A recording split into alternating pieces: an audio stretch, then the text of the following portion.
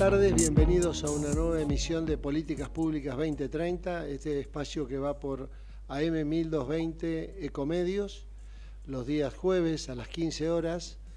Es una cita ya eh, conocida por el sector salud en su segundo año consecutivo. En el día de hoy, un tema muy interesante vamos a tratar, que es la capacitación para una gestión de calidad en enfermería y nos, visita o vamos a tenerla de invitada a la licenciada Irene Simeoni.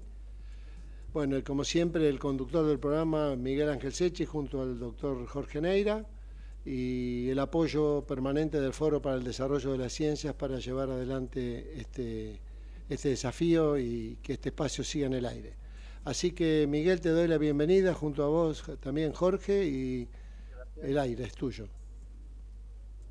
Eh, bueno, gracias, Horacio, doctor Horacio Fernández, por su trabajo de producción general, que como siempre decimos se desarrolla en una hora, pero es tanto la semana anterior como posterior a cada programa, porque antes de presentar a, nuestra distinguidísima visitante, eh, decimos que esto se escucha ahora en, directo por radio, pero luego la grabación eh, se reparte, se distribuye por todo el país y países limítrofes a más de, a más de 5.000 direcciones de correos electrónicos. Eh, bueno, él me acompaña, eh, o yo lo acompaño a él, al distinguidísimo académico doctor Jorge Alberto Neira, especialista en terapia intensiva, y creo que siempre tuvimos la idea, con Jorge y los demás integrantes del, foro, en eh, considerar a la enfermería como una parte fundamental de los integrantes del equipo de salud. Este, yo no, no, no puedo afirmar ni dudar de que todos piensen como nosotros, pero por lo menos eh, nosotros estamos convencidos de que la enfermería necesita la revalorización integral y hoy, hoy y ahora Neira lo va seguramente a, dar una mejor introducción que yo, eh, estamos eh, comenzando por la parte medular que es la, la capacitación. doctora licenciada Simeoni, Irene Simeoni, eh, leer su currículum me llevaría mucho tiempo y mucho parte del programa, pero yo destaco que es la licenciada en enfermería que está a cargo de la licenciatura en enfermería de la, de la Universidad Nacional de Buenos Aires. Eh, doctor Jorge Neira eh, está en uso de la palabra. Bueno, muchas gracias, Horacio, gracias Miguel. Bienvenida Irene, ¿cómo está? Acá nadie es doctor, acá somos todos amigos, así que nos vamos a llevar por el nombre. Eh, nos podemos tutear si, si, no tiene ningún inconveniente, porque me parece que es más, más claro y además este, es más uniforme, digamos, la, relación, ¿no? Así que bueno, muchas gracias Irene por estar acá. Eh, nosotros venimos hablando de hace tiempo de varios temas, específicamente dos que nos importan especialmente. Uno que es el tema calidad en la, en la atención de la salud, y otra es em, la, formación del recurso humano, en nuestro caso particular, básicamente en las residencias, pero bueno, yo sé que esto también eh, forma parte de la formación curricular de enfermería. Así que un poquito, eh, yo tengo 47 años de médico, de los cuales la mayoría la he pasado en cuidados intensivos. Debo reconocer que quienes más me enseñaron este, cuidados intensivos fueron las enfermeras que tuve a mi lado. Este, fui jefe de varios lugares y la verdad que todos todas ellas tuvieron una actividad muy interesante y siempre lo que me llamó la atención con los famosos PAE es que ustedes tenían como una, un orden de trabajo, una, este, que generaba, digamos, este, la calidad asistencial o que participaba de la calidad asistencial. Así que me gustaría preguntarte, Irene, que va, me gustaría que nos comentara cómo es el tema del rol de enfermería, cómo es el tema de la, de la calidad, cómo se asegura la calidad en la formación de la enfermera y después, en la segunda parte del programa, podríamos hablar, si te parece, del tema de la formación profesional de la enfermera, las residencias y las distintas este, definiciones que hoy tiene enfermería en cuanto a especialidad. Así que bienvenida nuevamente y se hace el uso de la palabra, Irene. Estás muteada, ¿eh? Muchísimas gracias por esta invitación. Agradezco también a la licenciada María Rosa López, que ella también me invitó a través de ustedes y a formar parte de, este grupo y de poder charlar así sobre todo lo que hacemos desde la Universidad de Buenos Aires para la formación. Es decir, eh, se necesitan enfermeros, es cierto, hace falta enfermeros. El enfermero es el pilar del sistema de salud tenemos que conformar equipos, pero para conformar equipos de trabajo tenemos que tener una formación de calidad. Y allí que nuestros pilares son nuestra formación a nivel superior, la parte ética, la parte de guardarnos en todo lo que, en, formarnos para a lo largo de toda la vida poder promocionar la salud, existir desde el comienzo, desde el nacimiento hasta la finalización de nuestra vida, vamos a tener siempre a nuestro lado la enfermería acompañándonos, ayudándonos y sobre todo cuidándonos, que esa es nuestra función. Y aquí muy bien habló Jorge del, del PA, el proceso de atención de enfermería, que es un, un camino, un proceso, pasos que enfermería realiza para desarrollar su tarea, tanto en salud como en enfermedad. Y allí parte de un diagnóstico, de ese diagnóstico eh, que es un diagnóstico de enfermería, es una, a partir de la observación. Nuestra tarea siempre parte de una observación. El diagnóstico y las acciones y la justificación de esas acciones. Y allí eh, es importantísimo que tengamos eh, pilares de gente formada para poder desarrollar toda nuestra tarea, tanto en la parte asistencial como en la parte de promoción, en la parte comunitaria, como en la rehabilitación. Y otro tema, también hablaste del proceso de atención de enfermería, ¿qué otro tema, Jorge? No, eso que, ¿cómo, cómo se aseguran, digamos, que eh, yo coincido con vos, me parece que enfermería tiene un rol protagónico. En la unidades de cuidados intensivos, si no hubiera enfermeras no se podría trabajar, porque la que cuida al paciente, la que conoce al paciente, la que está al lado del paciente es la enfermera. Y nosotros cuando hacíamos la recorrida, hacíamos la recorrida con la enfermera y la enfermera podía opinar de lo que tiene el paciente igual que cualquier otro profesional, porque así tiene que ser. Y en este sentido me parece que este, este trabajo, digamos, esta tarea multiprofesional es enriquecedora porque la enfermería tiene muchas cosas para aportar, sobre todo desde el punto de vista, como vos bien decís, del cuidado, ¿no? De lo que significa el cuidado. Yo aprendí el cuidado con las enfermeras y me parece que es algo que es tan valioso que no es parece como que no es, eh, explicar? Que no es complejo, pero me parece que es la base de sustentación de la atención del paciente, el cuidado. Por eso yo siempre insistí que cambiaran el nombre de la unidad de, terapia intensiva por unidad de cuidados intensivos, porque ahí el paciente se lo cuida. Y a mí me parece que esto que vos decías de los PAE, de esta organización que tiene enfermería, que tiene procesos de atención, es lo que hace que tengan una atención de calidad, ¿no? Eso es lo que yo querría que vos explicaras un poquito más, que son los PAE, cómo funcionan y cuál es el, el impacto que tiene en la calidad. Una, nosotros tenemos una base científica en eso partimos de la observación, eh, hacemos un diagnóstico y en base a las necesidades es que se desarrolla nuestra tarea.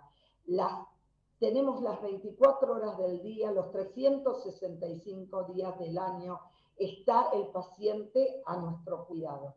Pero también hoy adaptar, trabajando en equipo y trabajando desde la promoción de la salud, también ese proceso lo ampliamos hacia la comunidad, que es el mismo, el mismo paso, pero desde la salud. Otro gran desafío que tiene enfermería es adaptarse a estos cambios, adaptarse a la tecnología, ayornarse con todo lo que es, em, hasta hablemos de inteligencia artificial. Entonces, proyectada la incorporación de todas estas actualizaciones, hoy enfermería tiene que estar actualizada, formada, nunca van a poder reemplazar nuestro cuidado. El cuidado directo, el humano, del ser humano, del cuidado, pueden ayudar, pero nunca suplantarnos. No, yo estoy de acuerdo. A mí me parece que la labor de enfermería, fíjate vos que cada vez que entra un familiar a una unidad de cuidados intensivos a ver un paciente, al primero que le preguntas a la enfermera, que es la que realmente sabe, ¿no? Y a veces le pregunta al médico cosas que, que la enfermera sabe, pero que el médico no sabe, porque la enfermera estuvo al lado del paciente, como decís, todo el tiempo, y por ahí el, médico no, se dio cuenta, muchas veces si joven no se dio cuenta, o si se dio cuenta se lo olvidó, pero la enfermera es la que conoce claramente las cosas. Por eso yo creo que cuando uno tiene que hablar con la familia, nosotros siempre cuando damos los informes estaba la enfermera, la supervisora, digamos, porque la, la opinión de enfermería era tan importante como la nuestra. Y entonces cuando se le daba el informe, si la persona quería preguntarle, tenía la enfermera y tenía el profesional, digamos. Y en ese sentido me parece, el profesional médico, quiero decir, no porque la enfermera no sea profesional, al médico. Este, y yo creo que eso es una buena, es una buena cosa. Nosotros siempre tuvimos una unidad de cuidados intensivos de puertas abiertas. O sea que la, familia estuvo todo el tiempo adentro del paciente cuando quería. No necesariamente, no obligatoriamente, pero sí tenía libertad para entrar en cualquier momento. Y ahí el vínculo con la enfermería se hace muy grande, porque participan de los avatares de enfermería, ¿no? Y yo creo que eso es uno de los grandes adelantos. Nosotros tenemos una mirada muy amplia, muy humanística, muy integral. Esa persona no es una patología, es una persona. Una persona que tiene un cuerpo, que tiene un sentimiento, que tiene una familia y que tiene una comunidad. Esa mirada amplia con la que nosotros dirigimos nuestra, nuestra formación hacia nuestros estudiantes, porque también nosotros em, a nuestros estudiantes le transmitimos esto. No hay solo, si bien estudian patología, no es una patología, sino es una persona que tiene una familia y que hay múltiples factores que influyen en la salud de enfermedad. De allí que hoy eh, mm, seamos el nexo con todo el equipo de salud y podemos coordinar un equipo de salud y llegar a buen término, es decir, poder atenderlo en todo eh, el, amplio espectro que una persona necesita y comprender ciertas situaciones.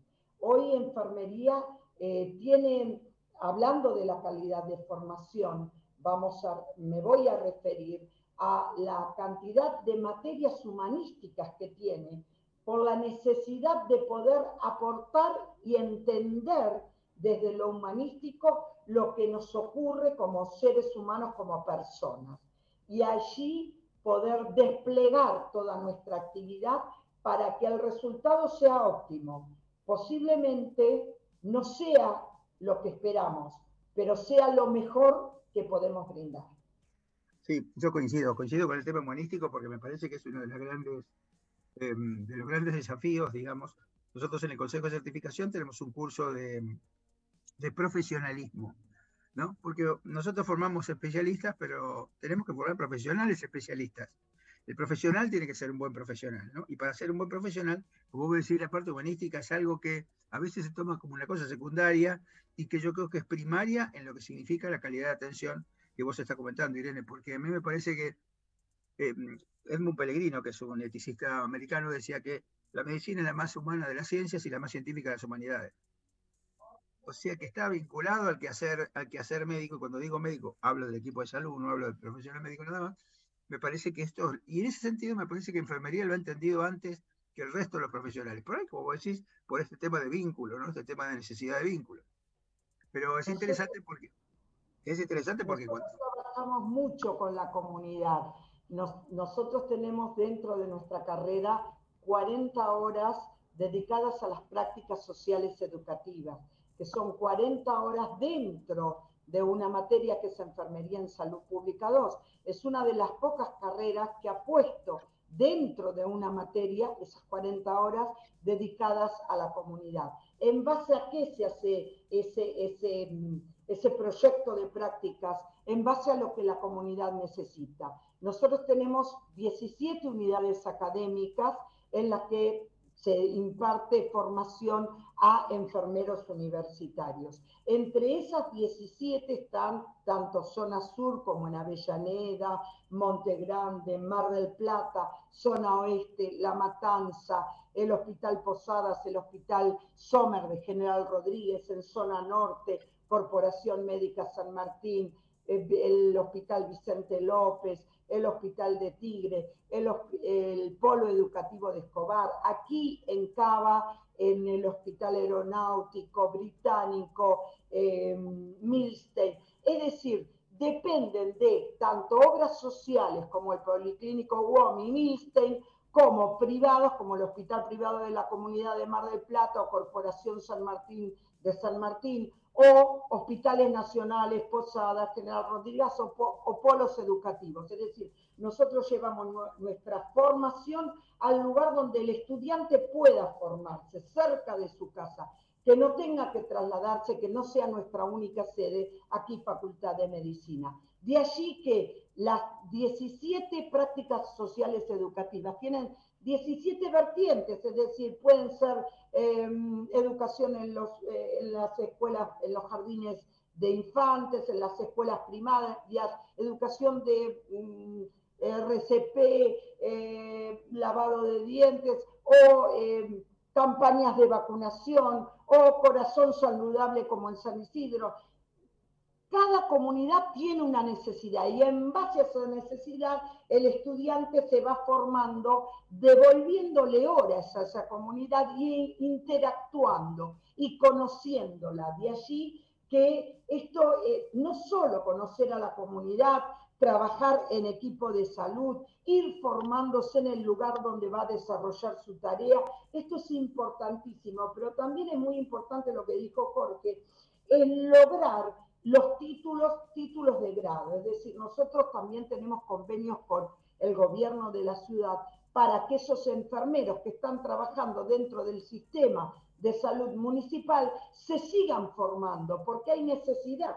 Eh, el enfermero va trabajando y realizando su tarea en función de su formación y nuestro título de grado fundamentalmente es el de licenciado en enfermería. Si bien nosotros tenemos un título intermedio que es el de enfermero universitario, otra de las pocas carreras que tiene título intermedio a los dos años y medio con 22 materias, se obtienen su título y matrícula. Bienvenido. A mí me parece fantástico porque podemos tener más desarrollo de nuestra tarea pero también tenemos que encaminar a, estos profesionales, a estos universitarios, a que sigan, a que continúen y se sigan formando en investigación, sigan obteniendo residencias, sigan haciendo pasantías, sigan haciendo posgrado. A eso estamos encaminados, a las especialidades, a los posgrados, a lo que necesita nuestro sistema de salud, a seguir formándonos a, obtener el título de grado y hoy estamos entusiasmadísimos con el doctorado. ¿Por qué? Porque eso significa darle eh, un sustento a nuestra profesión. Como bien dijo Jorge, nosotros, eh, nuestra profesión tiene eh, muchas fortalezas, muchas, muchísimas fortalezas, pero también nos tenemos que tener esta adaptación al cambio. Una de las cuestiones de una profesión es adaptarse a todos estos cambios y lograr fortalecer todas las asociaciones. Por eso, toda tarea, toda actividad, todo lo que pueda hacer enfermería vale, es válido para llevarla adelante, para que avance. Nosotros tenemos una profesión que es un pilar, pero también nosotros tenemos que creernos y saber qué es lo que somos. Por eso difundir esta profesión, difundir nuestra actividad, hablar de lo que hacemos es muy importante. Por eso les agradezco muchísimo este espacio, porque podemos eh, transmitir todo, todo el, sobre todo de mi parte, el, cariño y la satisfacción que yo tengo de ser enfermera. Puedo tener títulos, soy profesora universitaria, soy eh, licenciada en enfermería, eh, he hecho maestrías en salud pública, fui enfermera comunitaria durante muchos años en el barrio La Cava, pero mi orgullo es ser enfermera. Sí, yo coincido. Yo creo, como decía José Irene, me parece que yo me alegré mucho cuando apareció el doctorado en enfermería, porque dije, bueno, es, la primera forma de reconocimiento que nosotros tenemos que tener.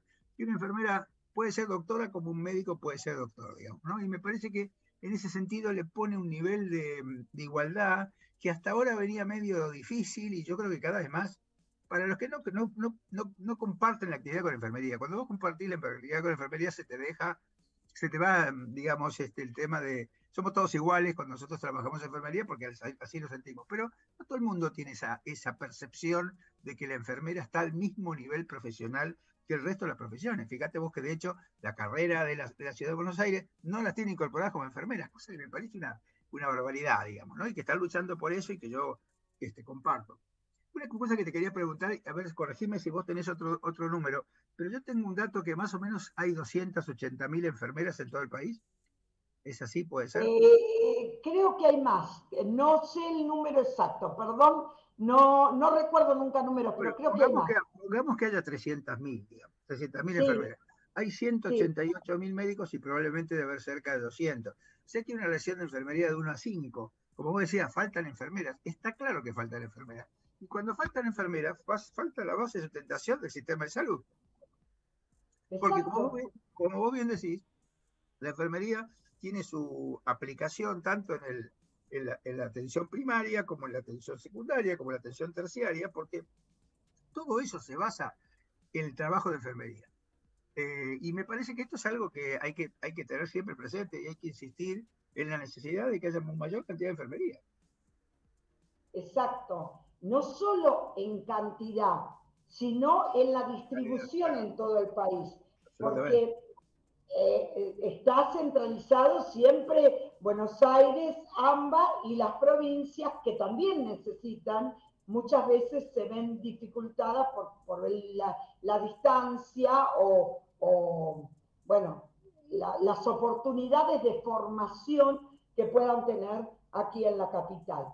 Pero también necesitamos elevar nuestra calidad de formación, logrando nuevos títulos, que nuestros enfermeros universitarios tengan la licenciatura, que los que tengan la licenciatura estén dedicados a, la parte de posgrado, que esto es todo un, un corrimiento, eh, una superación de niveles que tenemos que ir logrando y que lo estamos haciendo y lo tenemos que decir. Desde la formación nosotros estamos preparando posgrado, preparando eh, maestrías, eh, preparando especializaciones, ayudando en las residencias en, eh, para que nuestros estudiantes acepten las residencias. Bueno, eh, infinidad de tareas que se realizan para que un fin único, que sea la base de sustentación de un sistema de salud. Claro. Y como decías, eh, de ese total de 300.000 enfermeras, como para poner un número, ¿no? ¿Cuántas vos crees que hoy son licenciadas en enfermería? Eh, creo que hay un 30, no más de un 30%. Sí, es el número que yo tenía, un 30%. Bueno, de cualquier 27, manera... 27, disculpen que no tengo los números exactos, no, no pero importa, no importa, pero es, una, estamos hablando de es una aproximación. Esto sería que una de cada cuatro enfermeras es una licenciada, un poquito más. Este, pero de cualquier manera, yo creo que es un avance, porque si vos esto lo hacías hacía 10 años, probablemente el número era mucho más bajo. Yo recuerdo, mira, yo entré a la, a la residencia en el año 75. En ese momento había enfermeros empíricos, personas que, que estaban en el servicio porque es más, atendían con el saquito de mozo, que me causaba mucha gracia. Y después eh, estaban las enfermeras, que eran la mayoría auxiliares, Después, mientras yo me estaba haciendo la residencia, empezaron a formarse y eso generó un cambio sustancial. Este, nosotros, donde yo trabajaba en el ámbito privado, eran todas licenciadas. Este, así que generó un cambio muy interesante y muy importante y un crecimiento muy grande de enfermería, ¿no? Bueno, yo participé en el 2005 en la reconversión de enfermeros eh, del sistema de salud de la Municipalidad de San Isidro. Se recibieron 67 enfermeras eh, con el título de enfermera profesional. Claro, sí, sí, tal cual. Eh, Irene, Jorge, perdón que te interrumpa. creo que ya le explicamos a Irene que hay un pequeño corte de dos minutos en el programa. Perdón, Jorge Neira, que te haya interrumpido. Irene, yo te dejo una pregunta porque tengo mis limitaciones este, al, no, al no pertenecer al equipo de salud, ser abogado, que ya es una capitis diminutio. Eh, eh, la pregunta que yo hago eh, para, para después del corte, todo esto positivísimo que, que acompañamos hace años, y mala mía cuando no nombré a María Rosa López como como la persona que nos hizo, nos permitió llegar a vos y nos acompaña desde hace años. Pregunto, y lo dejo para después del corte, todo esto positivo, ¿hay alguna eh, institución, no, no, no, no con, no con nombre y apellido, pero del sector público, privado o, personal, que, que haya una, que, que se reconozca una resistencia a este, a este proceso de cambio, cambio positivo, porque nos gustaría saber también cuáles son las, las cuestiones a superar también, trabajar sobre, sobre aquel que no comprende la importancia eh, que estamos que estás planteando. ¿Te parece bien? ¿Lo dejamos para después? Bueno, nos vemos entonces después del corte, Irene. Muchas gracias.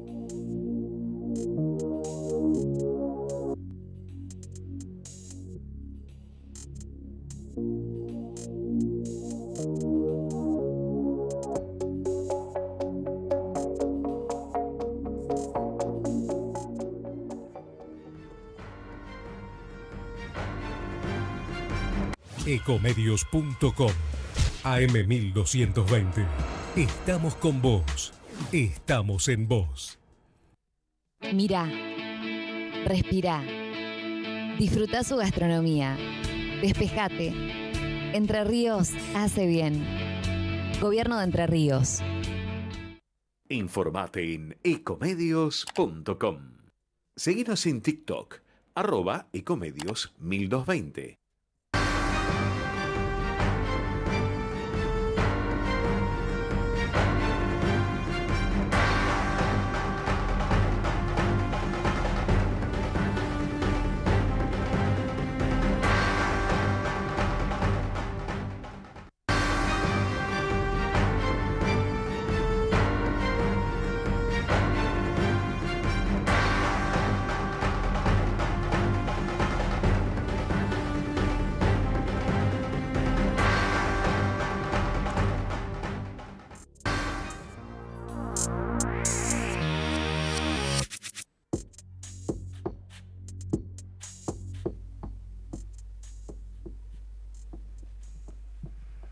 Bueno, podemos continuar después del corte, Jorge. Ya está la licenciada conectada y Miguel está entrando.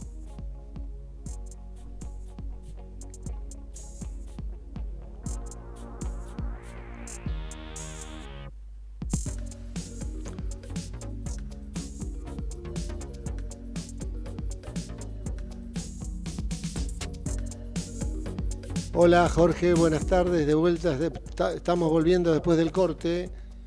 ¿Me escuchás?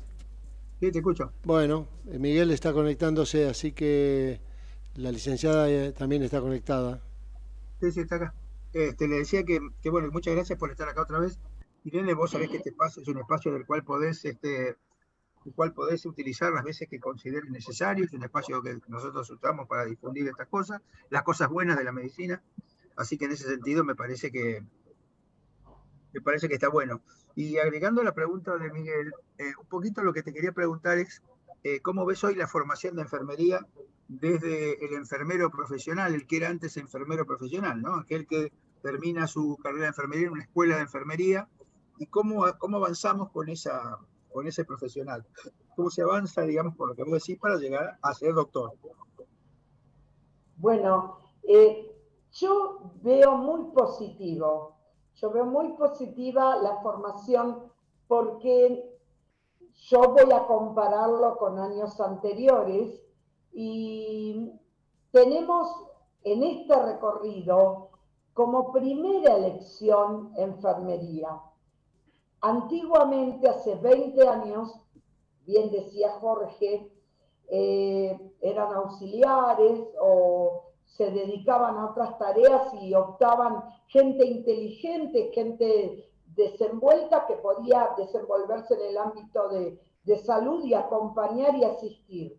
Hoy, con nuestra profesión, podemos desarrollar tareas propias, pero además no es la segunda carrera por elección, sino Hoy jóvenes salidos del secundario son nuestros estudiantes.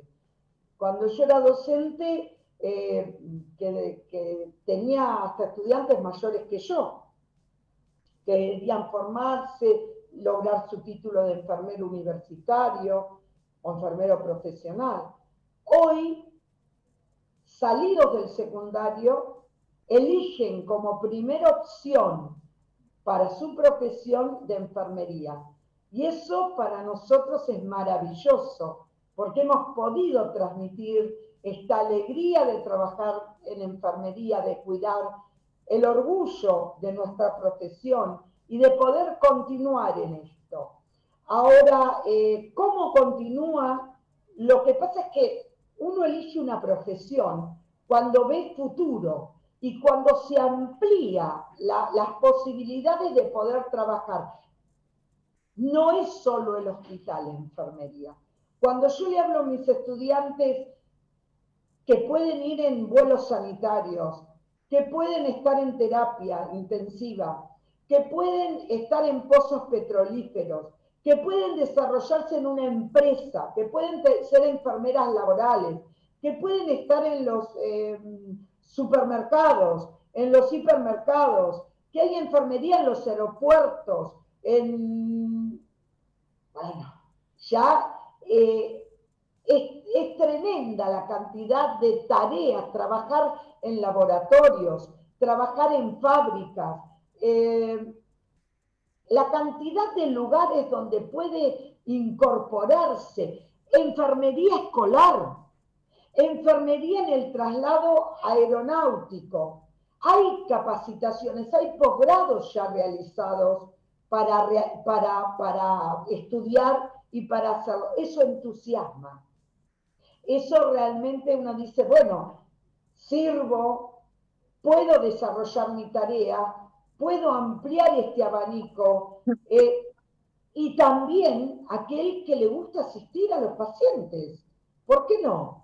Pero también podemos trabajar desde la salud, ver enfermeras en crecimiento y desarrollo, niños eh, sanos a los que uno le hace su seguimiento, estar en campañas de vacunación. Hemos demostrado en las campañas de vacunación, tristemente por el COVID, pero se ha demostrado lo importante de, de toda este, que una comunidad esté inmunizada y la tarea que ha tenido enfermería. Entonces, esto nos retroalimenta para seguir, para continuar, para que ese estudiante que salió y que vio y que entendió la importancia del papel que tiene enfermería, de la tarea que realiza, porque lo ha visto, porque le entusiasmó, porque le gustó, es masiva, porque antes cómo era, porque era la mamá enfermera, porque había tenido una tía, una madrina o algún familiar, o había vivido una enfermedad, entonces se volcaban a la enfermería y habían tenido oportunidad de poder eh, atenderse y saber y valorar la tarea. Ahora no, ahora la comunidad toda sabe nuestra, nuestra formación, nuestra tarea, lo que realizamos y el bien que hace. Y de allí que cada vez estamos más entusiasmados, tenemos más alumnos, es masivo y la formación va para eso.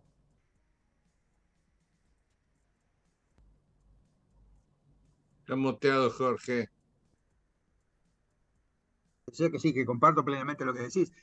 Eh, y vos decías al principio que con dos años y medio un estudiante eh, accede al título de eh, enfermero universitario.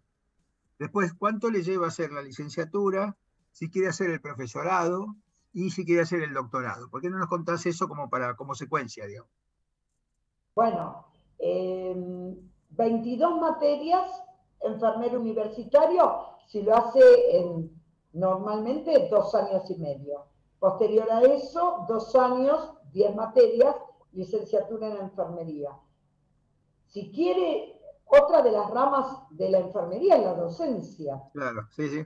Es importantísimo, necesitamos docentes para seguir formando. También se está abriendo la parte de investigación. Entonces, para ser docente son dos años más, para continuar en una maestría, bueno, lo que pueda durar una maestría, la cantidad de horas, eh, o dos años o un año y medio, y posterior a eso, Em, teniendo trabajos de investigación y trabajando con la comunidad o, en el área que uno se especialice, puede en la Facultad de Medicina hacer el doctorado que se hace por créditos, es decir, se logran créditos a través de los cursos que se realizan y em, con una tesis doctoral que tiene que ver con un aporte que se le haga a la profesión. Y esto es importantísimo, que nos dediquemos a las especializaciones, a nuestros posgrados, que nos dediquemos a investigar y a tener tesis doctorales, porque eso contribuye a nuestro conocimiento y a nuestra profesión. Sí, yo coincido. Y el tema de las, de las residencias, digamos, el tema de las especialidades, ¿cómo lo manejan? digamos, una enfermera quiere hacer cuidados intensivos, o quiere hacer quemado, o quiere hacer cuidado crítico, o quiere hacer em, atención eh, comunitaria. Eh, ¿Cómo manejan esas, residencias y esas especialidades? Bueno, hay un examen único de residencias que lo hace el ministerio.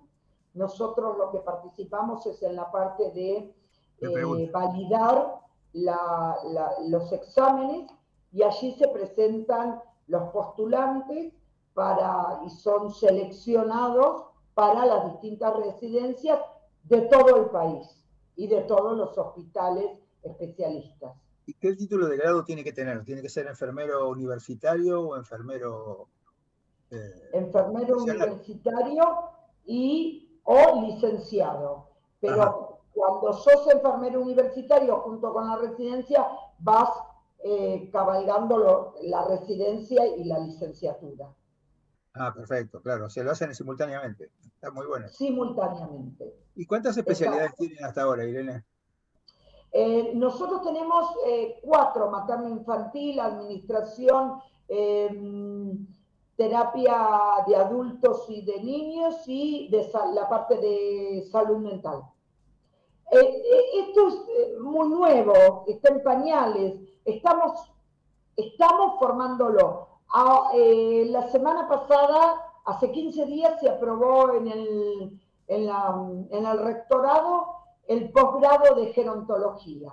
Ah, También una necesidad muy importante para nuestra población el, trabajo en gerontología.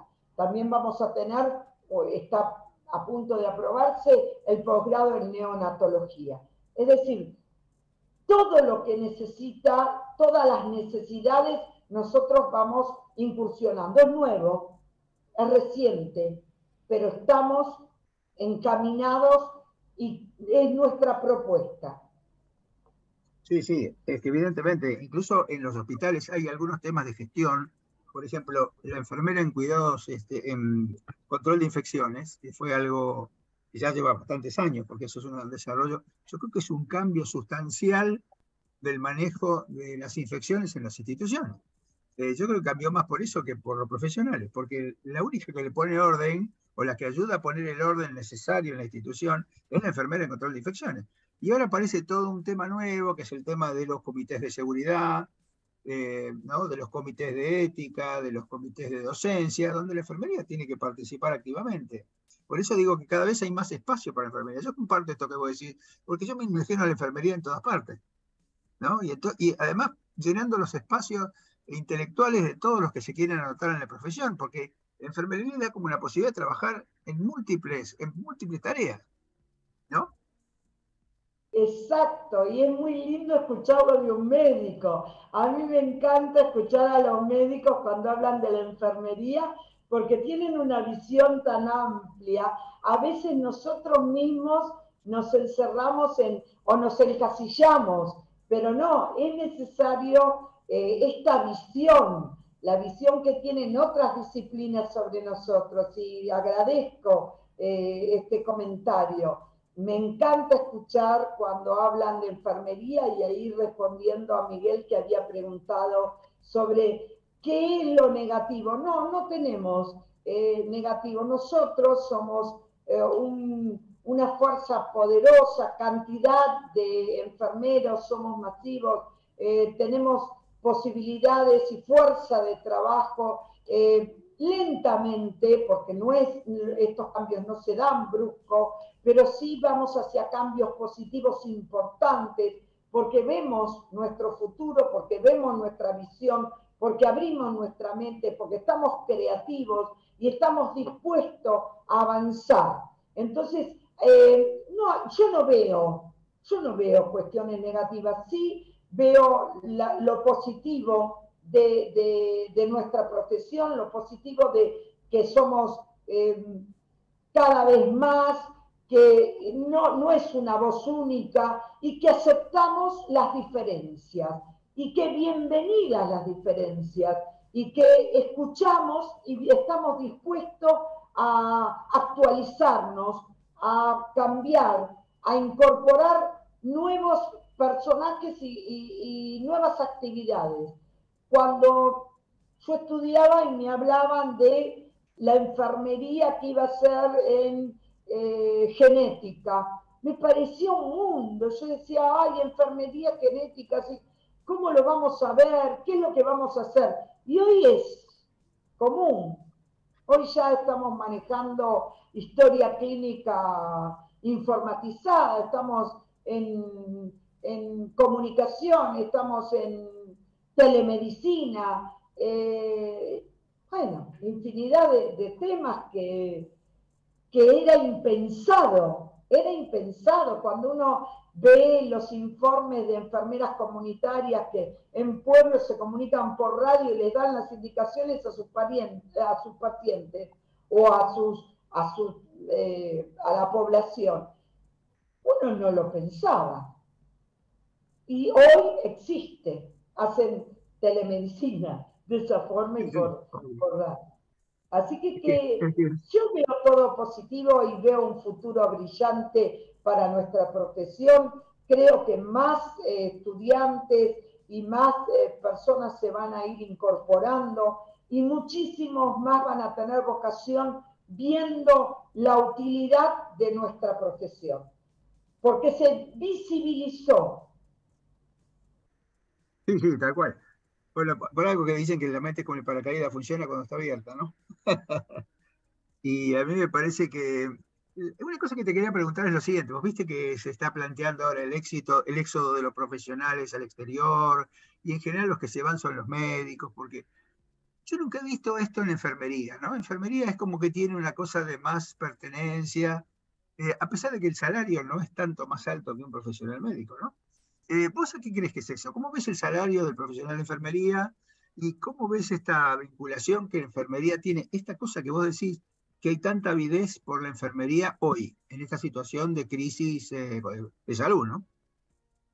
Bueno, em, de, los salarios es muy difícil hablar porque tendríamos que hablar de la situación general. Los salarios no son los que esperamos, pero más allá de eso, nuestra carrera es convocada y, llevan profesionales a otros países. Alemania, este último tiempo, durante, antes de la pandemia, estuvo llevando muchísimos profesionales. Eh, anteriormente había sido España, ahora eh, solicitan en Arabia. Nuestros profesionales son requeridos en el mundo por su calidad de formación. Eh, y bueno, eh, tenemos que aceptar que quieran tener nuevas experiencias, que, quieran tener otro, tipo de salario y otro tipo de vivencia. si bien eh, mayoritariamente preferimos quedarnos en el país. Digo preferimos porque realmente fue una elección y no me arrepiento. Eh, uno en el lugar donde pertenece tiene que seguir luchando y tiene que seguir eh, creando nuevas oportunidades, formando nuevos profesionales, mirando al futuro y siempre ir por más. ¿Cuál sería para vos el objetivo de máxima? Decir, ¿cuántas enfermeras calculás que necesita el país? Qué pregunta, ¿no? ¿Qué hago? Qué pregunta. Justamente para una persona que, lo, que no es muy... Para los números no soy muy buena, eh, pero nosotros, em, por más que formemos, vamos a necesitar siempre, siempre vamos a necesitar enfermería. Es tan amplio que nos vamos a cansar, van a ser generaciones y generaciones formando enfermeros, porque nuestra función es cuidar, desde la salud, la enfermedad, o sea que nosotros podemos sobrevivir a, a toda esta situación. A mí me parece que sí, es necesario, vamos a seguir formando por generaciones. Sí, sí, yo creo que es cierto porque me parece que tienen distintos ámbitos de desarrollo, ¿no? Eh, distintos ámbitos que para mí ni siquiera son pensados para los mismos profesionales de la salud, que no se dan cuenta que en muchos lugares la enfermería podría resolver tantos problemas antes de llegar, digamos, al lugar. Por ejemplo, todo el tema de lo que es la atención primaria de salud, uno piensa que es, el centro de salud, es el centro de salud barrial. La atención primaria de salud es además trabajar en los barrios, como vos decías, trabajar con las personas, ir a buscar a la persona sana, hacer promoción y protección, Viste que a mí me causa gracia porque dice, prevengamos la salud, la salud no hay que prevenirla, lo que hay que promoverla y protegerla, lo que hay que prevenir es la enfermedad. Y a mí me parece que este, este rol de enfermería, junto con en algunos casos con los, con los agentes sanitarios, porque es cierto que hay ciertos lugares del país donde el que puede llegar es el agente sanitario, que es el que conoce la zona. Pero de cualquier manera me parece que esa cosa, ese vínculo con la enfermería, como, ¿cómo te puedo explicar? Como base de sustentación, como te decía antes, del sistema de salud, donde empiece primero por esta cosa de aproximación a la enfermería hacia la gente, ¿no? Exacto. Además, ese profesional que está actuando desde la salud tiene que tener un nivel de formación superior, porque cuando ya está instalada la enfermedad, la patología, bueno, se resuelve con ciertos procedimientos, pero cuando estamos en salud, esa parte de prevenir la enfermedad, hay que tener una mirada amplia, mirar el ambiente, mirar la comunidad, mirar las costumbres. Es increíble y es eh, impensable y tiene que tener un nivel de formación superior al que simplemente cuida o asiste. si vos tuvieras que hacer un, digamos, una proporción de cuánta gente se interesa por determinadas cosas, cuántos se interesan por la atención primaria, cuántos por el cuidado crítico, cuántos por la gestión, ¿cómo lo ves eso?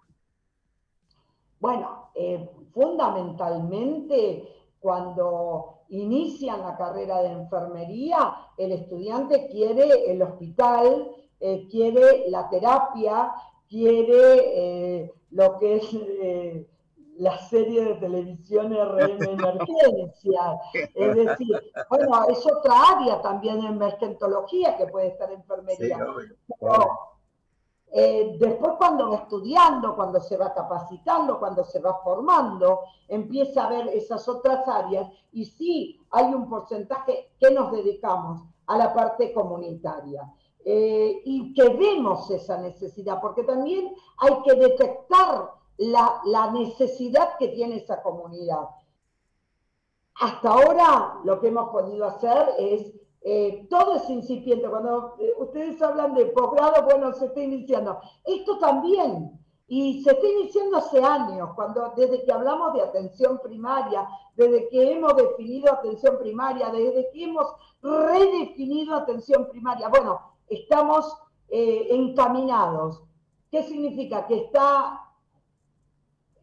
enfermería airosa, o sea, todo entusiasmada en ir a la comunidad, no. Hay, según la personalidad de la enfermera, del profesional o del enfermero, eh, se va a dedicar a un área o a otra. Pero lo importante es que puede elegir y puede desarrollar su tarea.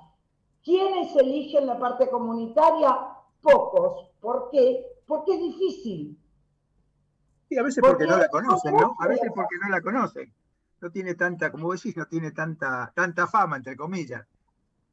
No la conocen, son muchos los factores que influyen y hay decisiones que van más allá de nuestra profesión. Nosotros hoy tenemos una reglamentación eh, muy reciente que enfermería puede eh, tener la dirección de centros de, primarios de salud, eh, como en España, por ejemplo, que sí hasta ahora la ha tenido, nosotros recién ahora ha salido esa resolución y es importante esas eh, decisiones políticas, esas determinaciones, esas reglamentaciones que ponen en primer lugar a la enfermería porque nos obliga a nosotros también a redoblar nuestros esfuerzos. Sí, sí, yo coincido, ¿no? Este, a mí me parece que eso es, eh, es una tarea. Vos fíjate que siempre antes uno tenía el concepto que la atención primaria era donde iba el enfermero, que estaba castigado o el enfermero que estaba cansado.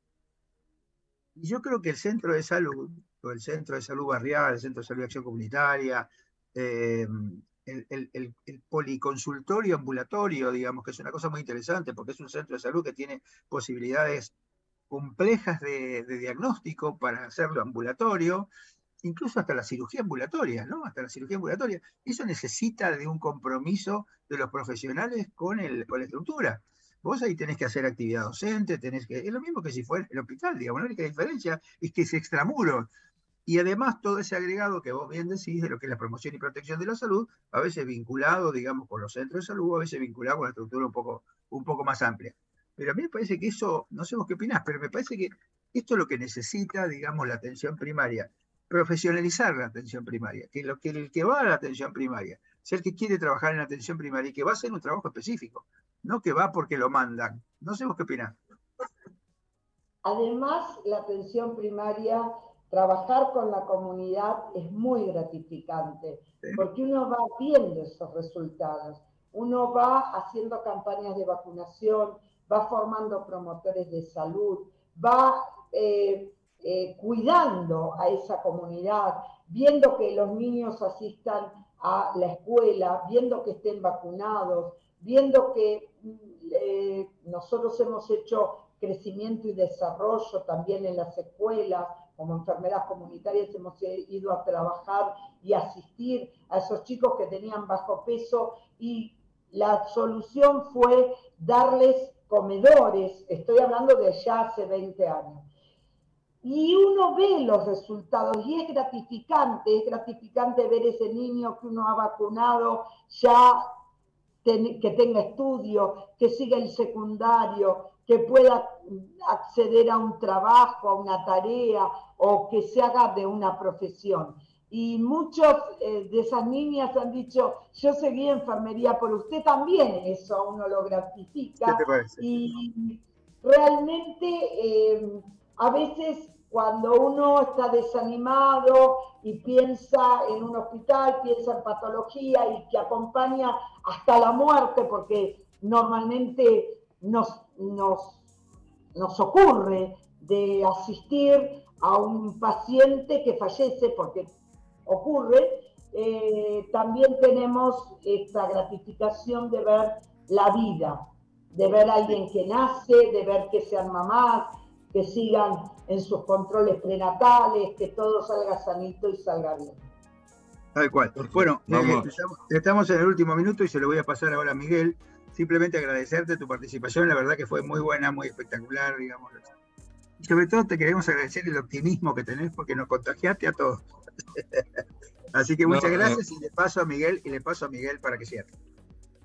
No, gracias Jorge. Sí, justamente mi, acotación antes del, del, corte se refería a ver si ese optimismo lo podíamos reducir un poquito, pero veo que, que fue imposible. Eh, Irene, eh, eh, si tu agenda lo permite, también conversamos con la doctora María Rosa y la juntamos un poquito y, y seguimos con, con estas cuestiones en, en próximos programas cómo no, agradecida de ser invitada. Bueno. Bueno, muy buena semana. Y nos vemos. Gracias, Irene. Gracias a ustedes.